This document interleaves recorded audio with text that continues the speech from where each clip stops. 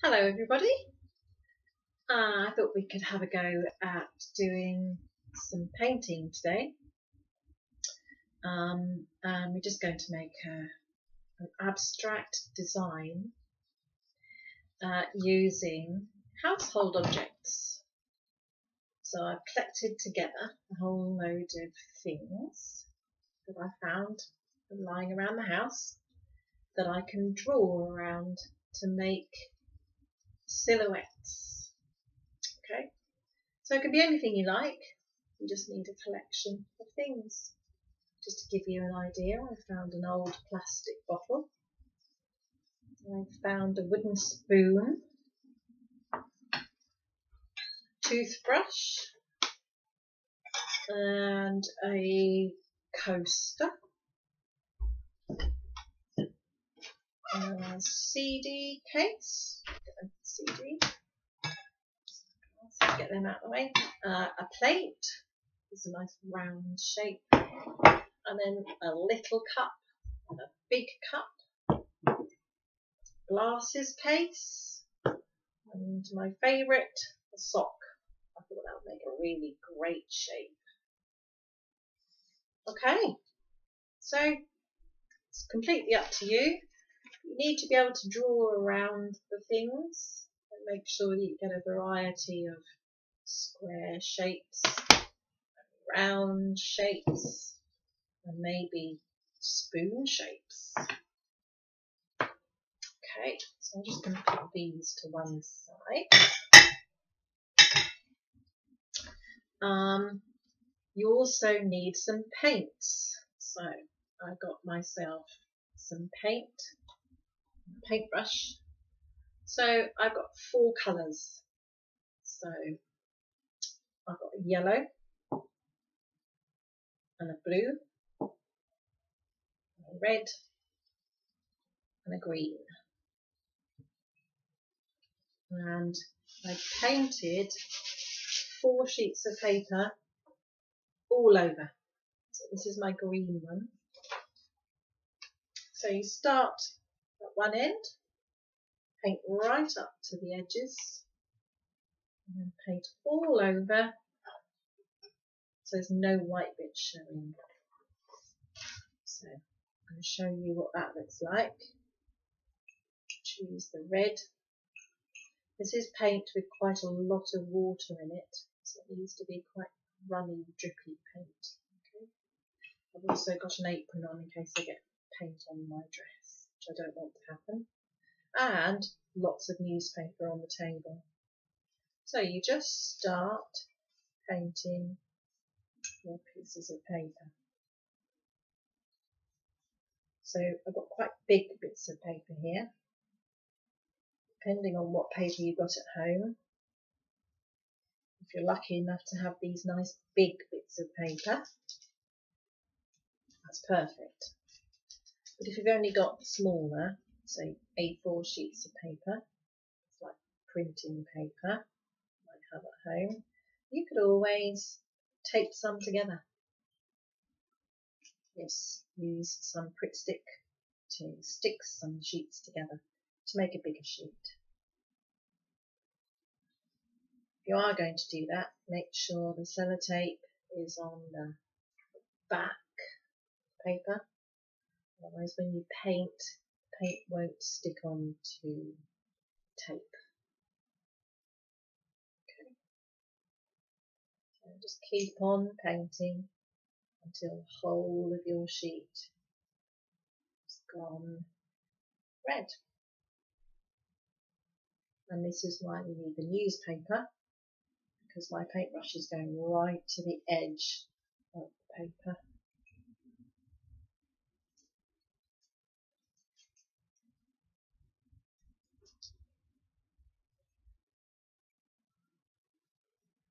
Just going to finish off that bit. This little bit here.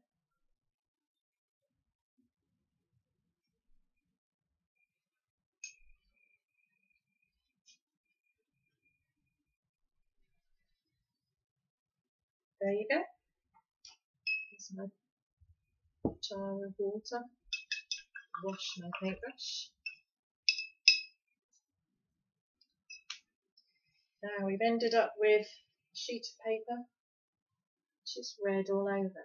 I've got some newspaper on the floor down here, so that I can dry that, leave that to dry.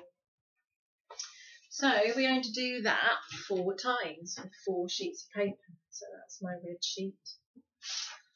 This is my green sheet. This one was my blue sheet. And here is my yellow sheet. And I've already made a start. So from the blue sheet, I got CD. So that's, that's where the CD was. And then plate. Plate is there. And I think that was the toothbrush gap. So what I do is choose one of the shapes. So I've still got the wooden spoon to do. Just lay the wooden spoon on the piece of paper. Put it nice and near the edge. You don't want to put it right in the middle and then draw around it because you might need more of the colour for a bigger shape. So, so as not to waste the paper, put it right to the edge. Put your pencil, finger on the object, and then draw around it. Making sure that you press down quite hard so that the object, in this case a spoon, doesn't move. And draw the way around it. If that's tricky to do, maybe you can get somebody else to hold it for you or somebody else to do the drawing round. Anyway, that's the spoon done. I've also got my sock. I've been looking forward to this, this sock shape. So I'm going to choose a space so I can spread out the sock quite nice and flat. That's a really good sock shape, but it doesn't overlap my spoon. Again, I'm going to draw an outline all the way around my sock.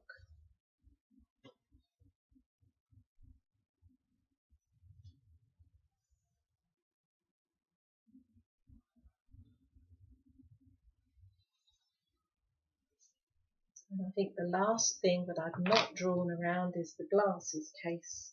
It'll give a good oblong shape, I think. Let's squeeze that in that corner.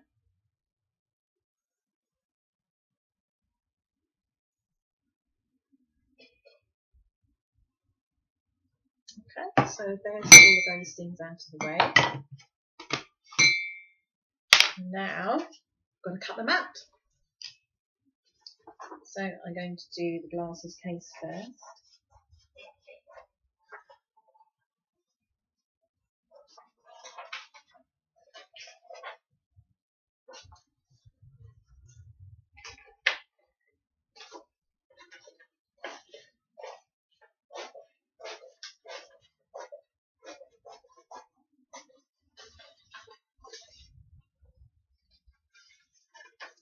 There you go. There's the glasses case shape. Put that to one side. Now I'm going to do the sock.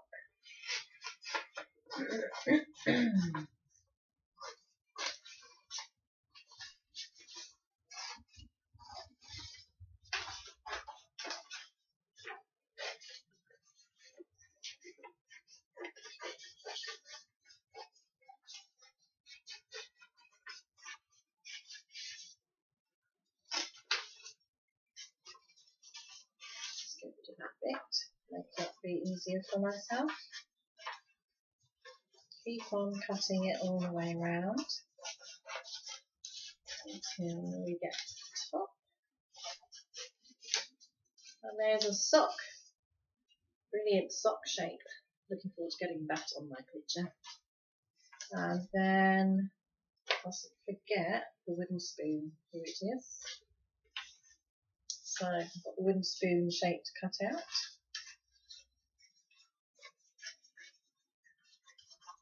so you don't have to choose the wooden spoon and the sock and a glasses case for yours. It could be anything you can find that's lying around the house. You can draw around. It's the most ordinary things in the house make the best shapes. Okay, I'm going to keep all these cut-offs because I might need them for another project. Okay, so got the wooden spoon, the glasses case and the sock. And now I'm going to add those to my already splendid looking picture. So, so far we've got the plate. So I decided to put the plate right in this corner. And then I put the cup shape. It's overlapping a bit. And yeah, small cup. That was the small cup that goes on there. Yeah. That looks really nice in that corner. And then the bottle goes right over the top of the picture. And look here, we've got a toothbrush It's cutting right into that red shape. Shows up really well against the red, doesn't it? And then this blue square here. So, a bit of overlapping is really good. You've also, you would have noticed that I cut the shapes out of the blue and the red and I left my yellow as my background. That's up to you. You don't have to stick to the same colours. Um, but if you do choose one of your sheets as a colour, so I chose the yellow one, obviously don't cut any shapes out of the yellow one. You put that one aside, that one aside, and that's your background colour. Okay. So now I need some glue. First of all, I'm going to decide where my sock fits. Feels like there's a rather nice diagonal space just waiting for it there. So I think I might put it there. To try it in a different place just to check. I that covers up the toothbrush. Don't like that there. No, it's overlaps here, so I think it's going to have to go there, which is a good job because it looks lovely.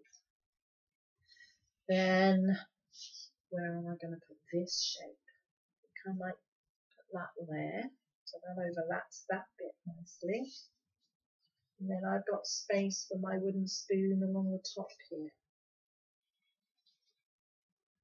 Yeah, I'm happy with that arrangement. So let's go for the glue.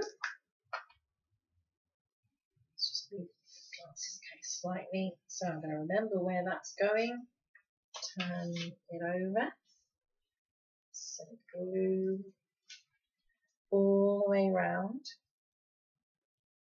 Making sure you just put plenty of glue on. go over that again, all the way around on the edges of the shape. Okay, turn that over, lay that down, press it down. Okay, now for the glasses case, that's going down as well, glue all the way around. And it's going to go over that shape. And lastly, the wooden spoon shape.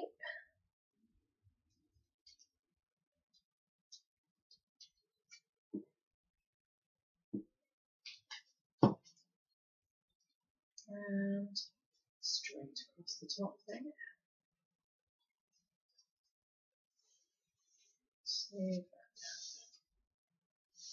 So, there you have it.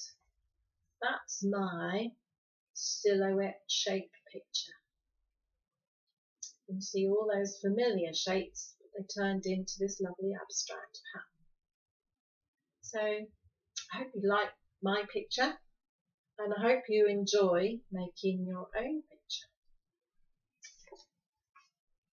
So good luck with making your picture and hopefully I'll see you next time.